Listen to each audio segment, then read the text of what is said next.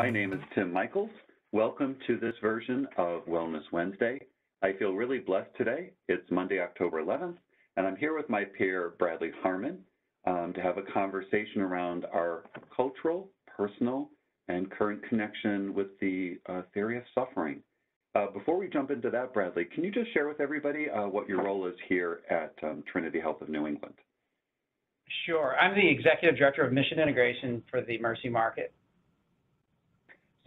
Um, I'm going to ask you a little bit later on because I love that title, you know, uh, Mission Integration. Um, I tend to think of mission as keeping us to our, our purpose to care for humanity. So one of the things recently through the Catholic Hospital Association was a WebEx, and guest Dr. Robert Wicks participated. And it was a discussion around post-traumatic growth and the spirituality of suffering. And I really feel the conversation and the article that he had written really started to question how we connect to suffering, how we view it as put on us, or you know, suffering as normal in life, but how that could impede our, our healing and growth. So what's your experience been like around the culture in the Springfield market, Mercy, Trinity Health New England, around that connection to suffering? Yeah, absolutely. I found the article actually uh, really excellent and um, really spot on as we look at you know what our colleagues are um, going through through the through the various waves of the pandemic when I read that article, it actually reminded me of a, a, a recent conversation I had in ICU.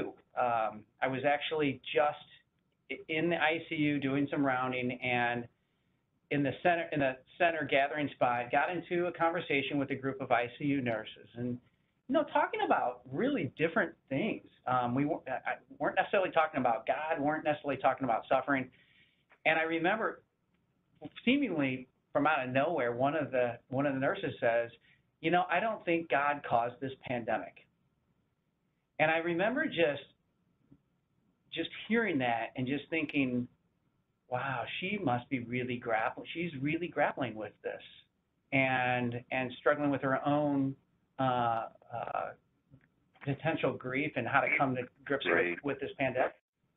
And um, and it just it really just got me thinking that I, my, my second my second response to myself was actually pride that I actually had a nurse that was saying it that was saying because there's a lot of voices out there that saying the otherwise right you don't have to look too far on the internet to see that this is some somehow uh, kind of um, plague of God you know that's been imposed by God so I was really proud of her um, because in my own journey um, in my early years as a chaplain I remember um, grappling with this myself. You know, um, what, how does this suffering happen? And and I really found that the only way forward was to is to really see a God which is really an orthodox God of Christianity that doesn't cause the suffering. You know, but but a God that actually enters into it with us, doesn't cause it, but is there present with us, and and that's what's actually been the been something very insightful.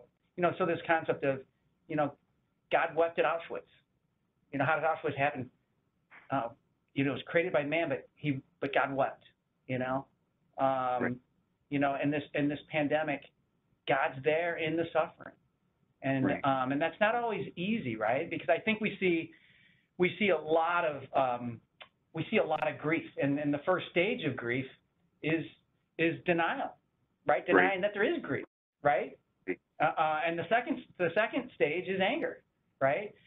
Um, and so it's really interesting. We do really see a lot of, of stages of grief out in our in, in our um, in our units and in our uh, with, within our colleagues and our leadership. Um, but it's just this it's this it's this concept that I think that as we've done, and you and I have participated in these, Tim. Right? You can speak to this right. too. Sitting there, hearing these nurses talk you know, about their experience, right? And you can see nurses, some nurses, right? And I, I think some, or doctors or clinicians, um, that did actually encounter God through this pandemic. Like they did have some sort of encounter of God, and there's, and it and it's and it's and it's those people that, you know, within the suffering, you know, we're somehow able to still connect with the presence of God. And I think that as a mission leader, you know, that's the part that I, and, and you know, you and I working in resiliency, that's the part that we actually have the luxury to look at as a faith-based organization. Right. You know, I can, welcome I your- can, well, I can, I can share with you, because we've done these sessions together, I've been doing them when people allow me to. That's the other interesting thing. So choice and the word allow, you mentioned Auschwitz. You know, Viktor Frankl's work about people giving up their spiritual liberty.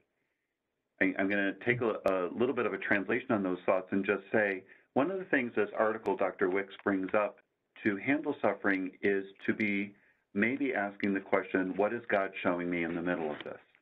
Are there things that I'm not able to see and appreciate because I've gotten so distracted by my belief or upbringing or teaching about suffering?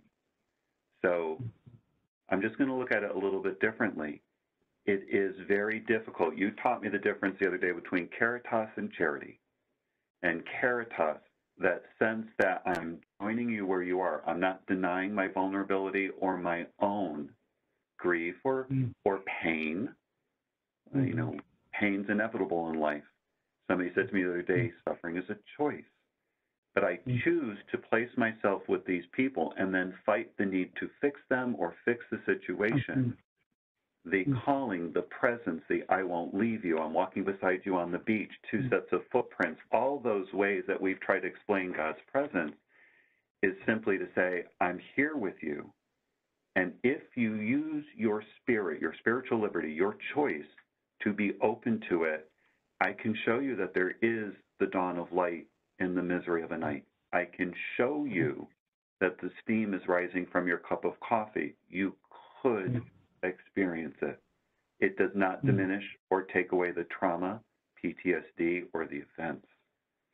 It does help me feel connected, and I would have to say almost hopeful to be able to move forward. But it's been really hard to look at my own story about how I was raised around suffering. And since I was raised in a very European Catholic tradition, you know, God gives you suffering and He never gives more than you can handle. And I will share with you, Bradley, that made sense until one of my sisters passed away and left a 10 month old baby. And I Mm. was taught in third grade that God loves us like our parents. And since I could not imagine my parents doing that intentionally, I completely gave up that notion that God intentionally does things to you. Now, I had to learn how to be a meek and humble man and ask for help with a 10 month old baby girl, but um, it was surprising when that vulnerability arrived, what other peace and joy came, even though there was that pain. So Mhm. that is my journey to unpacking the cultural trainings. And I don't want anybody to think that we're trying to challenge their belief. Mm. I do want to challenge people's commitment to continuing the suffering when we don't need to. That there's a hand Mm. reaching out to you, whether it's Bradley's hand or my hand, Carebridge hand, a neighbor's hand, God's hand. There is a hand. And it's and it's this the one of the things that's been very humbling, right? Is we as you and I have been, you know, going out in, into you know into the, all the departments and into the units is, is as a mission leader, you know, um, I, I don't have all the answers. I, Right. I, I don't have the answers, right? Um, and and and also to keep a little uh, keep a check on on what I think the answers are, right? So in other words, I remember just recently being down and, and doing a reflection at the um, at the 7:30 huddle with night shift and and the day shift gathered together down in the ED. And you know there is this kind of tendency, you know, to kind of call everybody heroes, right? Some sense the fact that people are still here, it's heroic, right? It is. Right. But but people don't want to be called heroes. And and I remember I started out this reflection, and it was it was and I it it, it was the beatitudes for healthcare workers, right?